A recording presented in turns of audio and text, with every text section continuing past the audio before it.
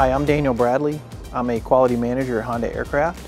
I've been with Honda Aircraft now for 14 years.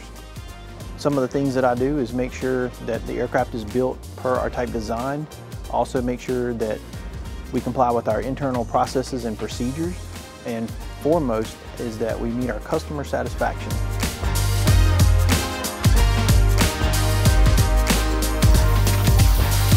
We're in our production support facility, where as you can see behind me, we build our wing assembly. Um, so today, what I'd like to do, I want you to come hang out with me. We're gonna go quiz a couple of our technicians and inspectors, and we're gonna test their knowledge. Hi, Eric. Hi, how are you, Dan? I'm doing good. Can you tell me a little bit about yourself? Like, uh, what do you do here at Honda?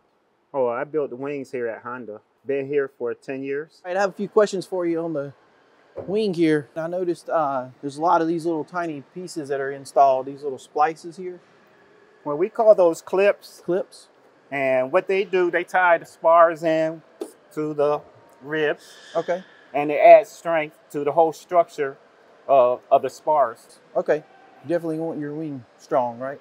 Yes, sir. yes. We getting ready to uh, finish up on this uh, mid strap here, Okay, which is an extension of the mid spar. Okay. fit like a glove, didn't it? Yes, it did. These are pins. Okay, And what they do, they help align the mid-spar into the holes that we pre-drilled. everything's lined up. Okay, Yes. These are clecos. Clecos, all right, And what they do, they help keep your work in place. all right. So you keep these over in the bin to keep them off the off of the wing structure. So you mentioned FOD. So can you tell me what FOD is? Foreign object damage. Foreign And- object damage and debris. So Yes, sir. if one of those were left in there, we just don't want that on our aircraft. That would not be Yes, good once the aircraft is put together. Yes, right. sir. All right. Can you show me and let me Yes, uh, put the next one in there? So you have a Cleco. As you fasten the nut down, it basically makes the tip of it expand out in the hole, holding the part in place, and everything is centered up with the hole that's already drilled. That way you don't misdrill anything. And now we're going to use a clamp right here. And that's just to make sure it sits down flush against the stringer here. Now it's set in location. And we're going to go ahead and finish drilling the pilot holes on it. Ooh, let me test drive that thing. Normally you see the drill this way, the drill's coming out at 90 degree. And then he also has this tool that you put down like a bushing and that makes sure that when you drill, it goes perpendicular to the surface. You don't want to drill at an angle. Okay, I get a feel for it. And then I'm going to drill straight down. All right. There we go. We're going to take our vacuum. Again, FOD control. So we have some of the shavings here from the drilling process.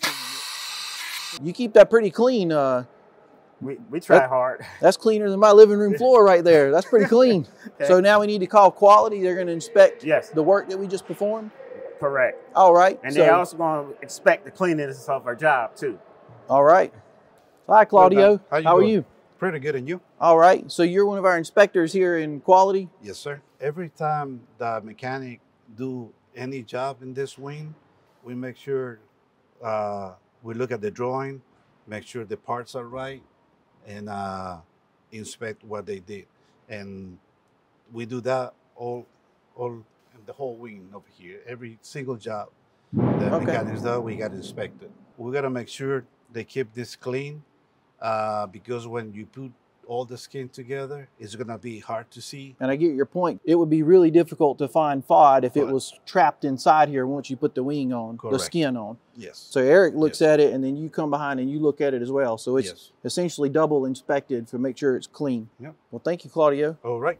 Thank you, All sir. right. Yes, sir.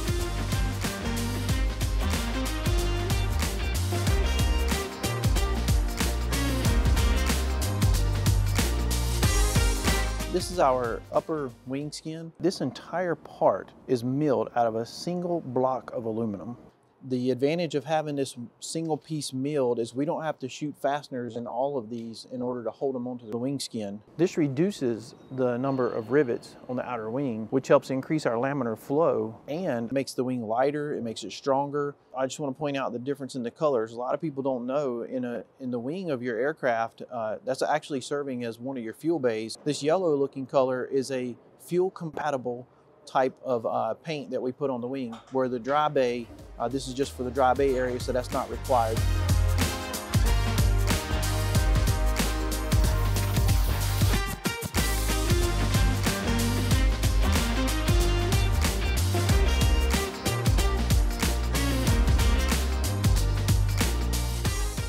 Hi, Spencer. Hey, Daniel. How are you today? Doing good. Spencer, uh, can you tell me a little bit about yourself? How long you've been here at Honda and uh, like what we're working on here? So how Sure. long have you been here? Seven years. And your team lead in this area? Yes. Um, on the wing, can you tell me a little bit about you know what's going on here? So we have two kinds of sealant we use on the airplane. We have a face seal that keeps the structures glued together. And then we have a fillet seal. All right, This yellow is for fuel primer. that's right. This fillet seal right here acts as a ramp. It keeps the fuel from sloshing against a, uh, a surface and slowly degrading this rubber over time. This is a uh, electrical fillet seal.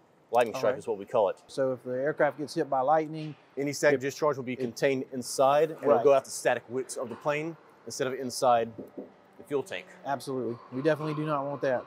And then also in this area right here, I noticed this little flapper valve. Can you speak a little bit to the flapper valve, its purpose? So the purpose of the flapper valves is as you uh, perform a hard bank in a plane, this is again a fuel tank. So if we didn't have these flapper valves, all the fuel would rush to the exterior One side. and it would imbalance the plane and Yeah, so now your airplane's tip. yeah.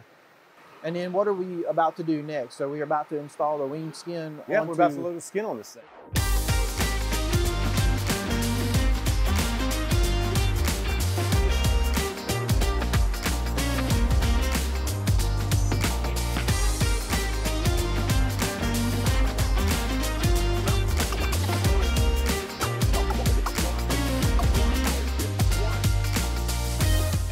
I've done this more than 200 times actually.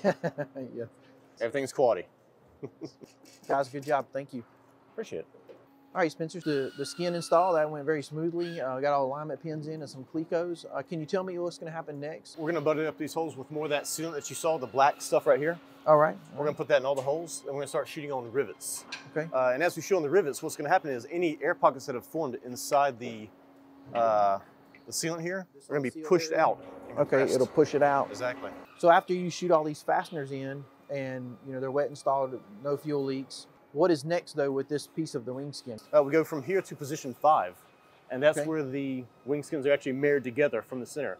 There's Okay. also a center tank that goes in there that adds a little bit more fuel. And then once it leaves that position, what where does the wing go from there? Uh, it'll be going to paint, All right. and then it'll be going to uh, 10 to 40. Okay. That's where it'll get uh, married with the fuselage. Before it leaves this building, is there a final inspection that's performed on the Oh, on the wing again? Tons of inspections. All right. And they check inside these access Inside, panels on the lower side, make sure there's double inspection because Oh, it's yeah. a fuel tank area. So we, we double inspect to make sure there is no FOD contained inside foreign Nothing object here debris fought in it. Nothing. ins- inside that wing. We want our we want our customers happy. That's right.